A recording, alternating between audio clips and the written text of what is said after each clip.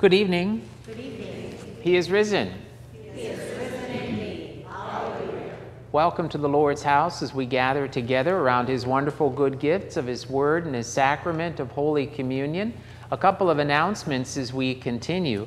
First of all, I want to share the sad but joyful news that the Lord has seen fit to call our beloved sister in Christ, Jean Cook, to himself in heaven. You remember, remember that her husband Jim passed away in February earlier this year. And so we certainly want to keep uh, Jean's family in prayers, uh, but also rejoice with them, knowing that she's with the Lord and reunited with her beloved husband. Some information about that.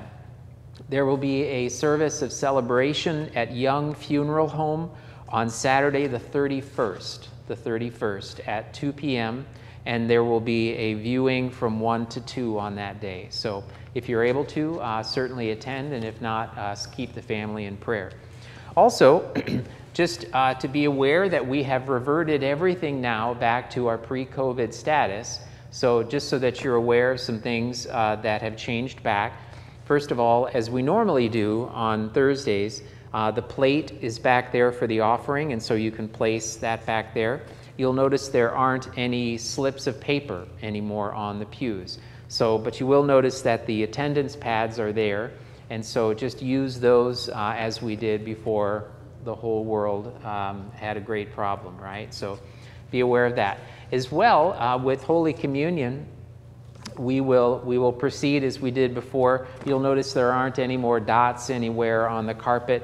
And so we'll have um, the, the bread and the wine here. Um, and, and so you can come and you can receive that, uh, and, that, that, and then just return on the outside. So, all right. Um, any questions? I'm going to be kind of informal for a minute about that before we continue. Okay, we're glad that you're here, and we'll continue with our opening hymn.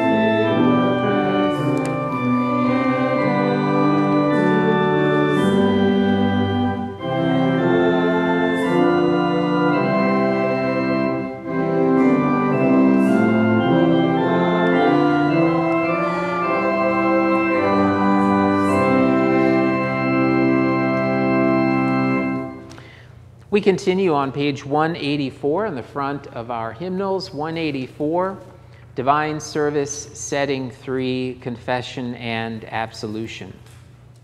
In the name of the Father, and of the Son, and of the Holy Spirit. Amen. Beloved in the Lord, let us draw near with a true heart and confess our sins unto God our Father, beseeching Him in the name of our Lord Jesus Christ to grant us forgiveness. Our help is in the name of the Lord.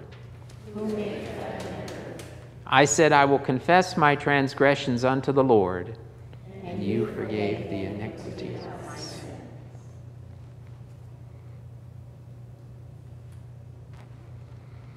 O Almighty God, merciful Father, I, a poor, miserable sinner, confess unto you all my sins and iniquities with which I have ever offended you, and justly deserved your temporal and eternal punishment.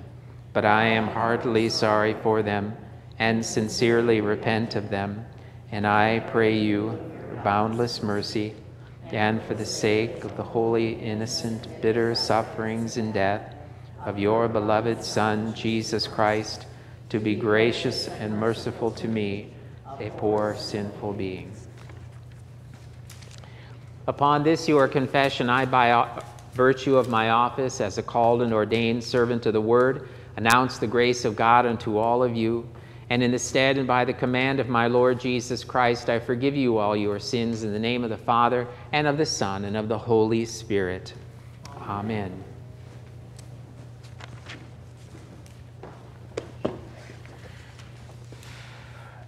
You open your hand and satisfy the desire of every living thing Sing to the Lord with thanksgiving. Make melody to the Lord on the lyre. He covers the heavens with clouds. He prepares rains for the earth. He makes grass grow on the hills. He gives to the beasts their food, and to the young ravens that cry. His delight is not in the strength of the horse, nor his pleasure in the legs of a man. But the Lord takes pleasure in those who fear him, in those whose hope is in his steadfast love. Glory be to the Father, and to the Son, and to the Holy Spirit, as it was in the beginning, is now, and will be forever. Amen.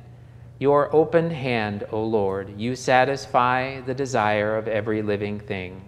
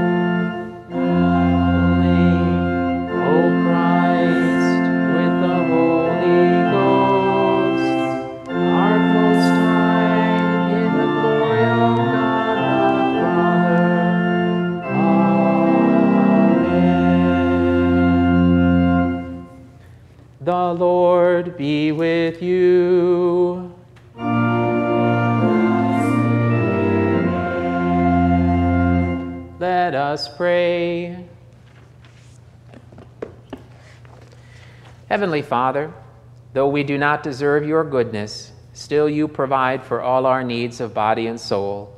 Grant us your Holy Spirit that we may acknowledge your gifts, give thanks for all your benefits, and serve you in willing obedience. Through Jesus Christ, your Son, our Lord, who lives and reigns with you in the Holy Spirit, one God, now and forever.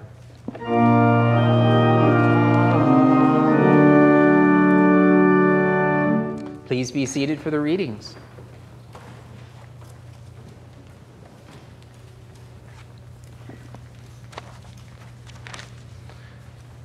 The Old Testament reading is taken from the prophet Jeremiah, chapter 23, verses 1 to 6. Woe to the shepherds who destroy and scatter the sheep of my pasture, declares the Lord. Therefore, thus says the Lord, the God of Israel, concerning the shepherds who care for my people You have scattered my flock and have driven them away, and you have not attended to them. Behold, I will attend to you for your evil deeds, declares the Lord. Then I will gather the remnant of my flock out of all the countries where I have driven them, and I will bring them back to their fold, and they shall be fruitful and multiply. I will set shepherds over them who will care for them, and they shall no longer fear, nor be dismayed, neither shall any be missing, declares the Lord. Behold, the days are coming, declares the Lord, when I will raise up for David a righteous branch and he shall reign as king and deal wisely and shall execute justice and righteousness in the land. In his days Judah will be saved, and Israel will dwell securely. And this is the name by which he will be called The Lord is our righteousness. This is the word of the Lord. Thanks be to God. The epistle reading is taken from Paul's letter to the church in Ephesus, chapter 2.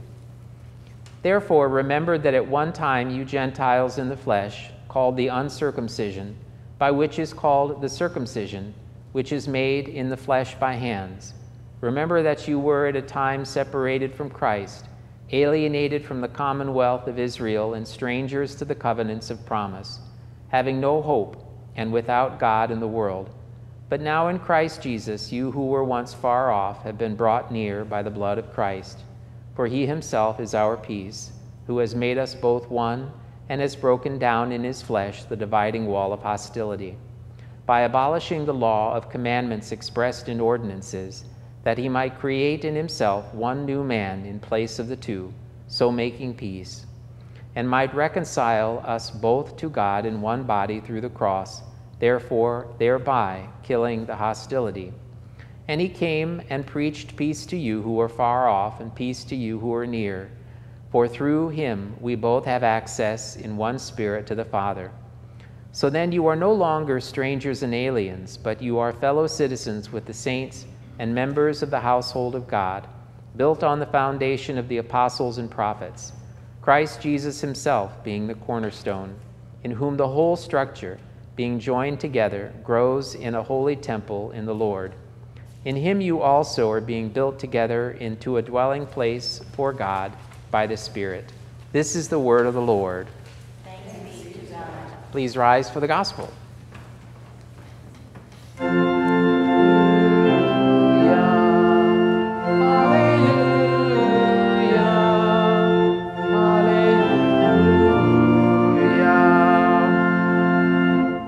Holy Gospel according to St. Mark, the sixth chapter.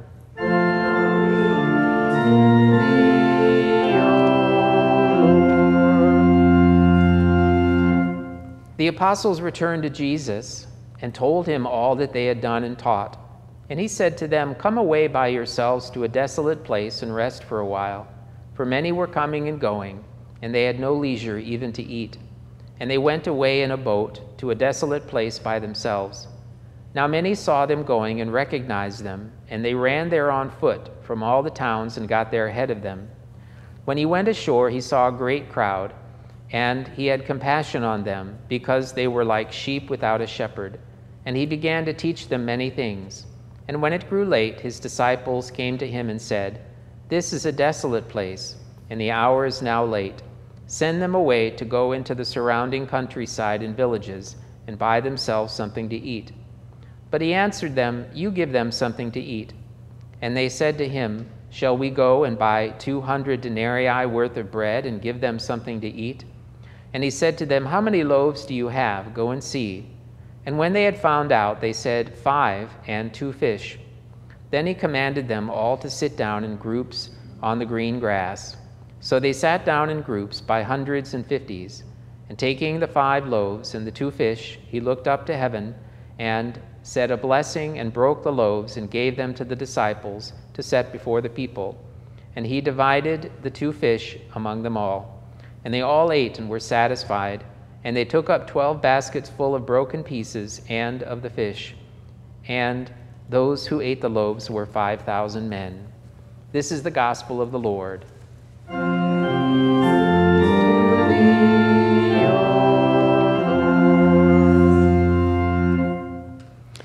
We continue with our common confession of faith in the words of the Nicene Creed. We confess together I believe in one God, the Father Almighty, maker of heaven and earth, and of all things visible and invisible, and in one Lord Jesus Christ, the only begotten Son of God, begotten of his Father before all worlds, God of God, light of light, very God of very God begotten, not made, being of one substance with the Father, by whom all things were made, who for us men and for our salvation came down from heaven, and was incarnate by the Holy Spirit of the Virgin Mary, and was made man, and was crucified also for us under Pontius Pilate.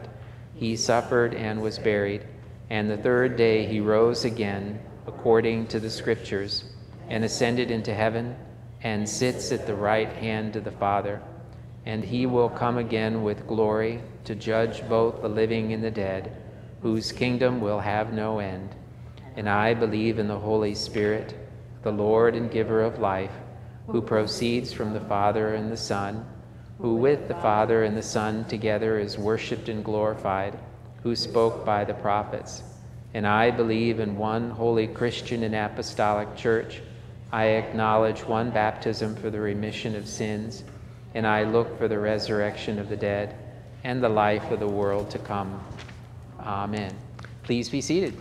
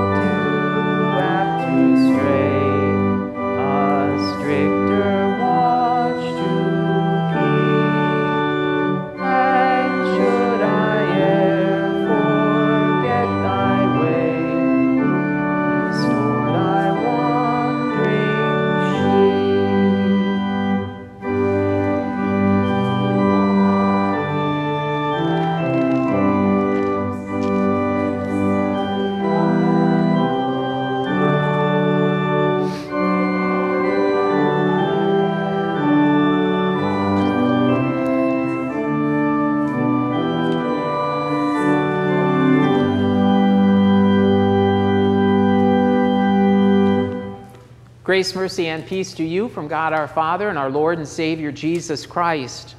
Amen. You know, one of the great legacies that we have coming out of Luther's Reformation is the idea that the governing body, the political governing body, and the church governing body should be absolutely separate.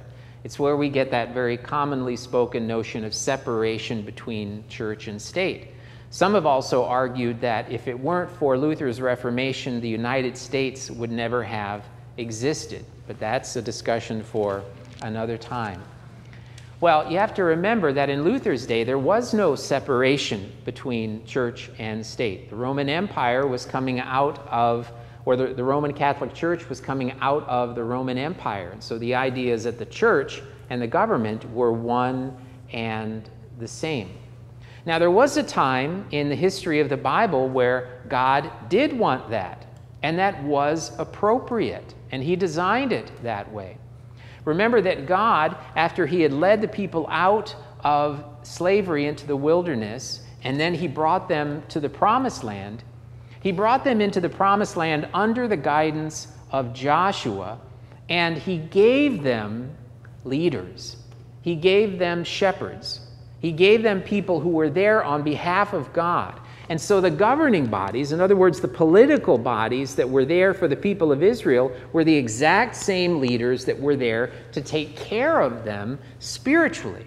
That's what Jeremiah is talking about in chapter 23, where he says, I'm coming to hold you accountable, shepherds over Israel and Judah, because you've dropped the ball. You're not doing what you're supposed to be doing for the people of Israel. And we see how they failed in a couple of very important ways. First of all, remember, here comes the Israelites. They're coming out of the wilderness into the promised land. And what does God tell them? God tells the leaders of the Israelites to make sure as you come into the promised land, you're going to encounter people when you get there. There are some people who are already in your land. And he said, These people are pagans, they're not believers. They are idol worshippers. And he said, You go in and you clear all of them out, every single one. You put them to the sword and you get rid of them. Now, why is that? That is because God knew that the people had a sinful nature. And were they to come into the promised land and have all of this exposure to false religions, they would be in spiritual danger. The temptation to believe the religious groups of those people living in the promised land. And so he said, get them out for that reason. Now, is that what the leadership of the Israelites did? No, that's not what they did. In fact, they moved in, they moved some of the people out, but there were still many false religions there. And God predicted exactly what would happen. Many of the kings went right into idol worship, they led the people in idol worship. They built Asherah poles and they built statues to Baal and all sorts of false worship, and they led people in that direction. So when God comes along and he says, You know what, leaders, you shepherds of the people of Israel, you have failed because you've scattered everybody and you've left them into temptation. You're not doing your job. Recently, in my Bible study, my personal time in the Bible, I've been reading through 1st and 2nd Kings and Chronicles. And as you read through those, I've been taking an inventory of all the kings of Israel and Judah. And there are a couple of kings that really knock it out of the park, like Jehu and Asa and Josiah. Excellent work. But most of them, overwhelmingly, were evil. They were evil because they married into families of idol worshippers. They worshiped Baal. And they set up churches and encouraged the people of Israel to worship gods away from the one true God. And it's a sad story. And that is where we see that those folks have failed. And so when God comes along and he says, you know what? You didn't attend to my people you leaders, you shepherds, you kings, you prophets, you didn't attend to my people, so God says, I'm going to attend to you. And those are difficult words. But what did he do? If you read those passages in 1st and 2nd Kings, it talks about how there was a good king who would come along, and he not only put the evil king to the sword, but also his whole family and all of his children in other words, God said, You are a good king. You come and you wipe out this evil king and his whole dynasty. God did attend to them. Now, we don't know if they, where they spent eternity. We don't know where they are. But we do know that God was serious about it and expected them to shepherd their people correctly. Now, of course, it happens in our day as well. It happens in our day as well, where we see shepherds, pastors, who are not doing what they are supposed to do. Now, all pastors fail, absolutely. And I count myself right up there at the top of the heap of pastors who don't always do what they're supposed to be teaching. But the main issue here, remember we talked about the idol worship and the false gods and the false teachings and all of those things of the Old Testament. We recognize today that there are Christian teachers that absolutely, without hesitation, preach Jesus Christ. They preach Jesus and salvation purely in Jesus Christ. But in many cases, we find that there are Christian churches and Christian pastors who are teaching falsely on many of the other issues, on things like how does a person become a Christian? Who is Jesus Christ? What will happen when Jesus returns? What is baptism all about? What is Holy Communion all about? What is supposed to happen in worship? And we find that there are false teachings about those things all over the place. Now, of course, we react to that and we say, hey, you know what? Why is it so important that we be so particular? Why be so particular about these teachings in the Bible? Well, remember that your Bible is about this thick or maybe thicker, depending on how your eyes are doing right now and how many little references you have in your Bible. If all God wanted us to know was that Jesus Christ died on the cross and that we have salvation through him, it would just be John 3:16 on a little business card, and that would be our whole Bible. And how easy that would be to just stuff in our wallet, and you got the whole God's Word right there. But we have God's Word from Genesis to Revelation. And that means that everything in that Bible, God wants us to know, to understand, and to be correct about. That's the key issue of the point that we're making here to be correct about. Now, let me give you a couple of examples to drive that point home. Let's say that I go to the doctor for my checkup, and the doctor has all this information he wants to share with me about my blood work. And I say to the doctor, Doc, look, just tell me, am I going to be alive tomorrow? Well, yeah. Okay, well, I don't need to hear anything else. I don't want to hear about how my organs are doing, about how my blood work is, my cholesterol, my lipids, or anything else. Just give me the bottom line. But we do that all the time with Christianity. Just give me the bottom line about Jesus, but don't tell me anything else. You might also ask yourself, those of you who are married, how many of your wedding vows would you like your spouse to hold up and to pay attention to? As long as you don't commit adultery, that's fine. Everything else is really up for grabs, right? I mean, adultery is really the key issue there. You see the point that I'm trying to make. In every other realm of life, we expect absolute perfection. We want people to follow things to the letter of the law. But with Christianity, we're willing to throw everything out and hold on just to Jesus because we're afraid that holding on to those teachings will push people away. But we recognize no, we are to be correct. We are to be correct about everything. Well, you know, my sixth grade teacher, um, Mr. Carl Teese, who I respect greatly, he had a number of sayings that he used to use while I was in sixth grade. And one of them was cruising for a bruising. Cruising for a bruising. And he said that to me a few times, right? Uh, he would say, Mr. Rigdon, you are cruising for a bruising. Now, this was not during a lesson on English poetry. It was instead his way of saying that the next step is big trouble and you don't want to go there, right? You don't want to go there. He also used to say that, Mr. Rigdon, you're on the hot seat. You're on the hot seat. Now, what does that mean? In other words, is that attention is being placed on you, that you're culpable. You're the one who is in trouble right now, and you can't put the attention on anybody else. You see, as Christians, it would be very easy for us to say, you know, the reason that I am where I'm at in my spiritual life is because, you know what, the leaders in my life, the spiritual leaders in my life haven't done their job. You know, my past pastors really didn't do a good job of shepherding, and that's why I'm at where I'm at right now. You know what, the things that I've read, the books that I've read, they weren't really correct. And so that's where I'm at right now. It's not really my fault. But it is. God held the people accountable, even though He also held their shepherds to be accountable. One way to look at that is this when we talk about those issues of correct and false teaching.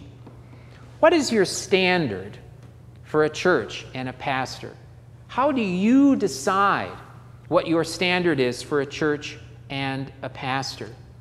When you decide to yourself, you know what, here's why I'm at St. John, or here's why I used to worship over here. Here's what I liked about this pastor, and here's what I didn't really care so much for about this pastor. Maybe it's something you think, you know what, well, the pastor that I like, or the pastors that I like, they're really interesting, they're kind, they're fun to be with, they're good listeners, they're good administrators, they write good Bible studies, all of those things. And if they're generally correct about what the Bible says, that's great. But these other things are much more important. Or when you decide for yourself what sort of church you are going to go to. You know what? What I'm really looking for is a church that has a jungle gym and that has a great Starbucks like coffee display and that's doing lots of other sorts of mission activities and all sorts of wonderful things and has friendly, welcoming people. And I hope that they're generally correct about what they teach in the Bible, but if not, the other stuff is far more important. Now, do you see where I'm coming from about that? What should be our standard when choosing a church and a pastor? The exact inversion of that. I should first say to myself, is that pastor teaching the truth? And does he so do so regularly? And does this church teach correctly, regularly? And then everything else should be there too. But after I check this other stuff off. But we see that people miss that and they go along, they go in the wrong direction all the time. You see, when we get to heaven, there aren't going to be any excuses. When I stand before the Lord on Judgment Day and He asks me why I, I should be led into heaven, what am I going to say? Am I going to say, Well, I don't know Jesus Christ, but it's not my fault? It's not my fault because my father and my mother weren't very good examples to me of the faith. It's because they never took me to Sunday school. It's because, you know what, I never had time to read the Bible because I was so busy with other things. There wasn't a church nearby that I could go to. None of those things will work. What God will be concerned about is He's going to say, You know what? I tried to reach out to you. I tried to give you the Bible. I encouraged you to read it. I encouraged you to come to church, but you wouldn't have it. You see, the Lord wants us to be correct, and He wants us to have those things that He is bringing to us. One of the things that I've been working on at home um, in the backyard is we have a patch of clovers that uh, is in the back there. And so, what I've done in the last few weeks is pull all the clovers out of the ground. And of course, then you have this really, uh, you know, black mud that's underneath that. And so, what do I do when I start digging up the mud and just to see what's underneath there? The, the shovel goes clink, clink, and you find out what's underneath there rocks. There are rocks underneath there and big rocks underneath there. And I have no idea why because they're not attractive, any sort of decorative rocks. They're just big rocks. And so what do I do? I'm down there in the dirt digging these rocks out, and then I gather them all up into a big pile and I take them down to our little, uh, I don't know, what is it, a gully or a ravine or something like that, where we have all the other rocks and I put them there. But I had to gather them all up and I had to move them. And I think finally I got them all taken care of. Well, God says in the passage from Jeremiah how he is going to gather his flock to himself, the people of Judah, the people of Israel. He's going to gather them back together. Because remember what happened. The Assyrians and then the Babylonians came in and they took all the people out and they took them back to Assyria and Babylon. And they were lost, they were gone. And so God says, you know what, shepherds, even though you didn't do what you were supposed to, I'm going to gather my people back. I'm going to bring them back to myself. And that's exactly what he does. He gathers the people of Israel back into the promised land. He preserves that remnant as Jeremiah talks about. Now, why does he do that? Why does he do that? What's the concern? First of all, it's because he loves the people of Israel just like he loves you and me. And most importantly, Remember that God said that the Savior, the righteous branch, Jesus Christ, would come from no other group than the people of Israel. Jesus had to preserve the people of Israel in order that one day, descending from King David, that Jesus Christ, the righteous branch, who would come and work in wisdom and righteousness and execute justice in the land, would come into the world and be our Savior. And that same Jesus Christ then comes and he gathers us around himself. If you look at the gospel lesson for today from Mark chapter 6, it talks about the feeding of the 5,000, these people who were so hungry. And what did Jesus do? Did he say, hey, you know what, you 5,000 families here, I want you to come forward, but only the Jews? That's all I want, just the Jews. Or did he say, hey, you know what? I only want the Gentiles to come forward and to come for this wonderful meal? No. He says that I have gathered you unto myself. And what he is talking to is he's saying that I have gathered my children. That's you and me to himself. And what does he gather us for? To feed us on himself, to give us himself, not only in the word that we are celebrating right now but also in his true body and blood.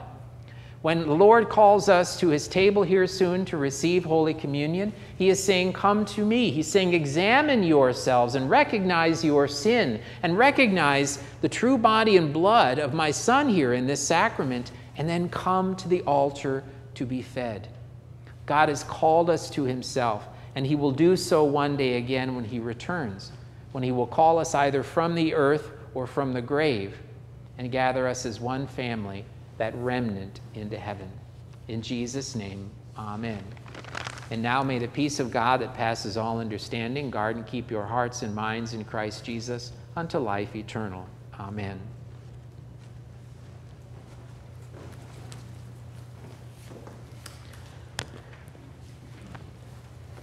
As we continue with uh, the offering, and again, the plate is back there in the back for the offerings. And we'll stand then for the offertory.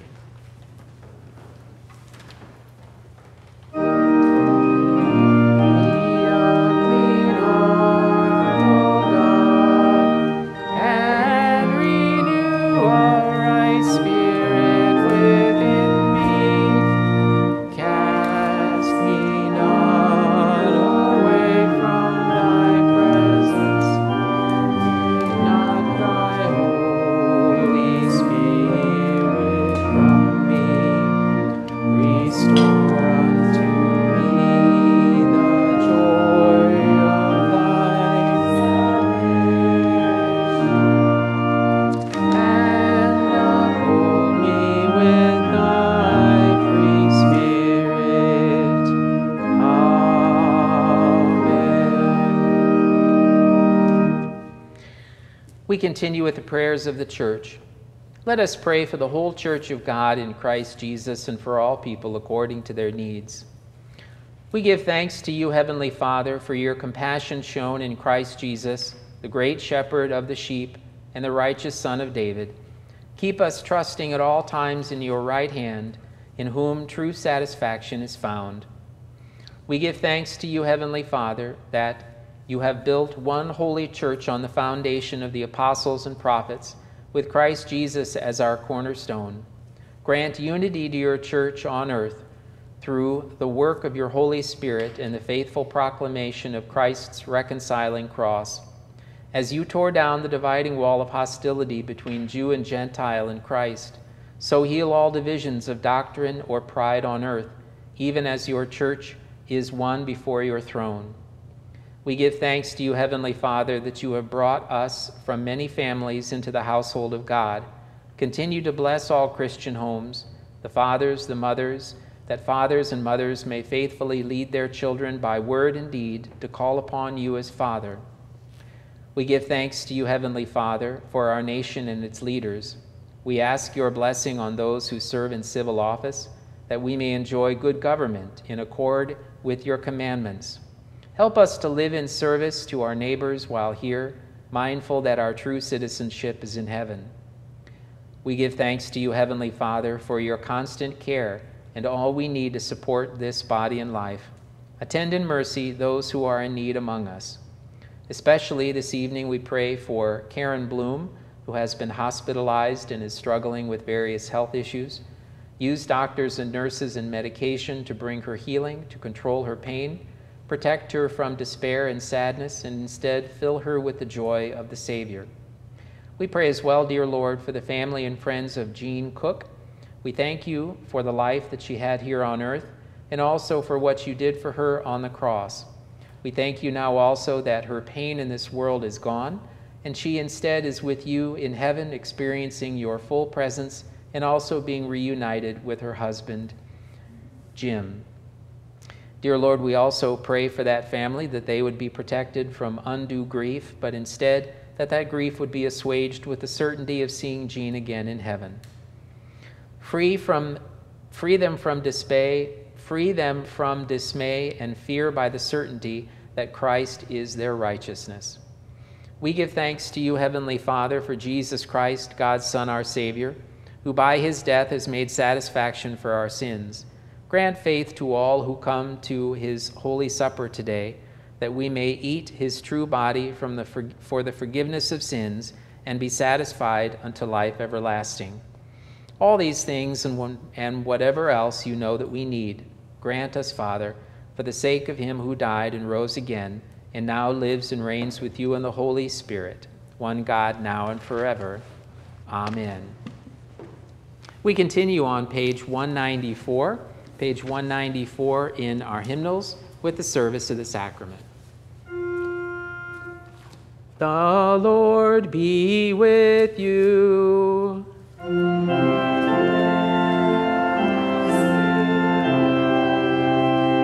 Lift up your hearts.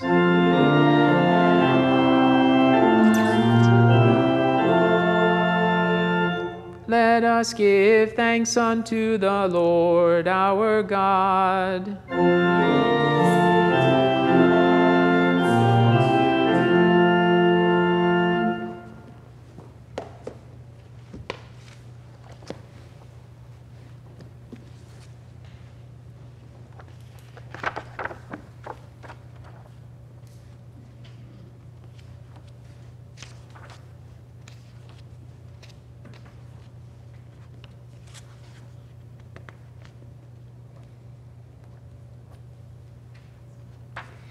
It is truly good, right, and salutary that we should at all times, in all places, give thanks to you, Holy Lord, Almighty Father, everlasting God, through Jesus Christ our Lord, who, having created all things, took upon human flesh and was born of the Virgin Mary.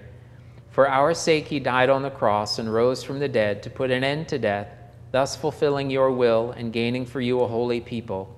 Therefore, with angels and archangels and with all the company of heaven, we laud and magnify your glorious name, evermore praising you and saying,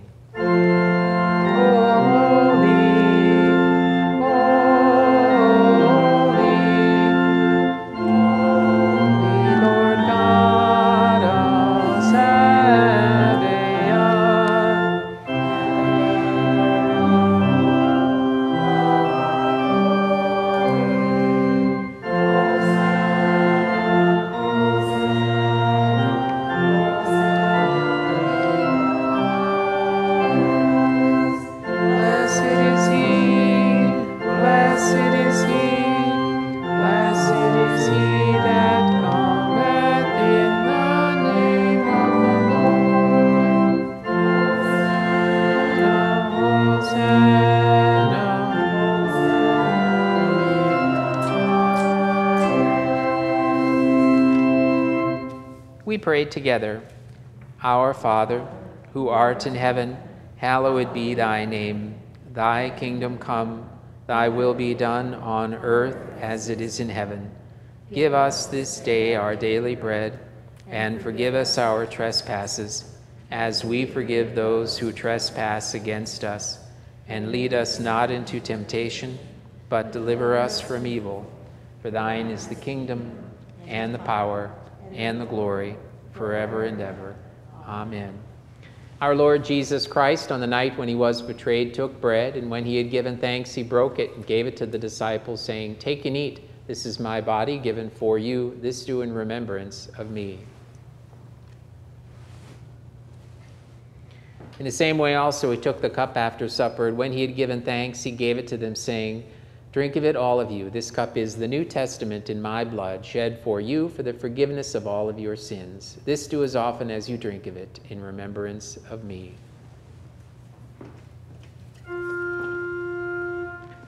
The peace of the Lord be with you always.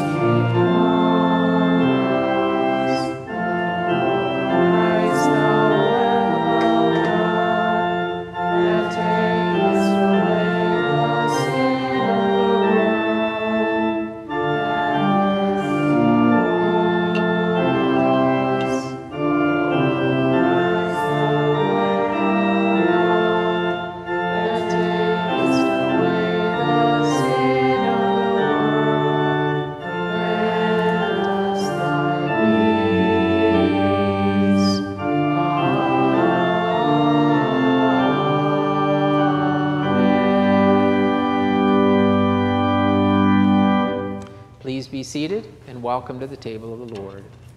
Yep. Come on down.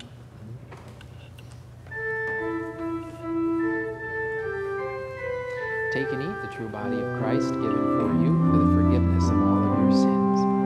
Take and drink the true blood of Jesus shed for you for the forgiveness of all of your sins.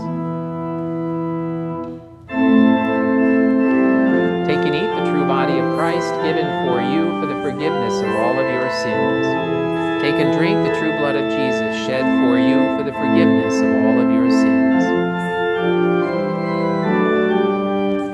Take and eat the true body of Christ given for you for the forgiveness of all of your sins. Take and drink the true blood of Jesus shed for you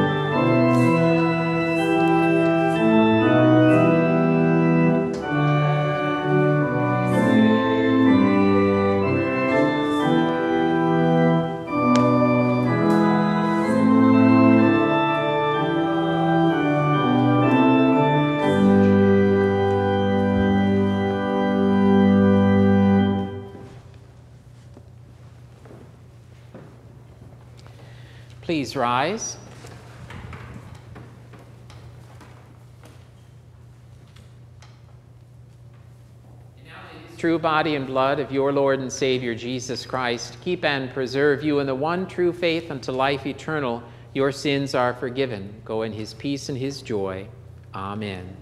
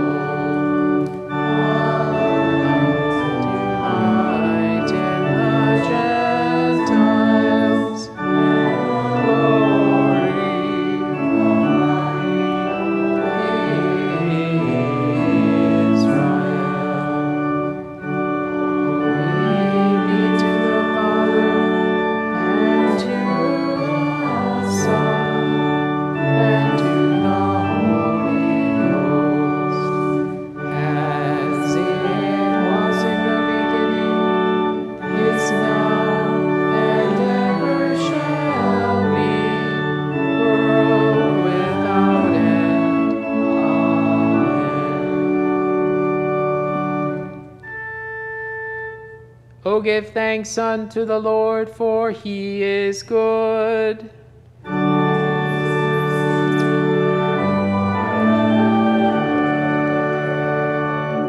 Let us pray.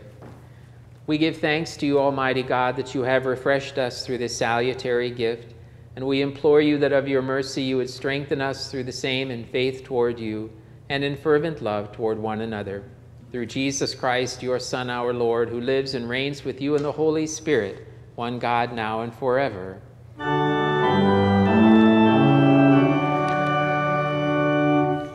The Lord be with you.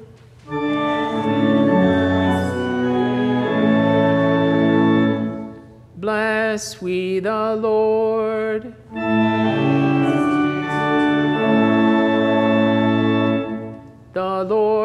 Bless you and keep you. The Lord make his face shine upon you and be gracious unto you. The Lord lift up his countenance upon you and give you peace.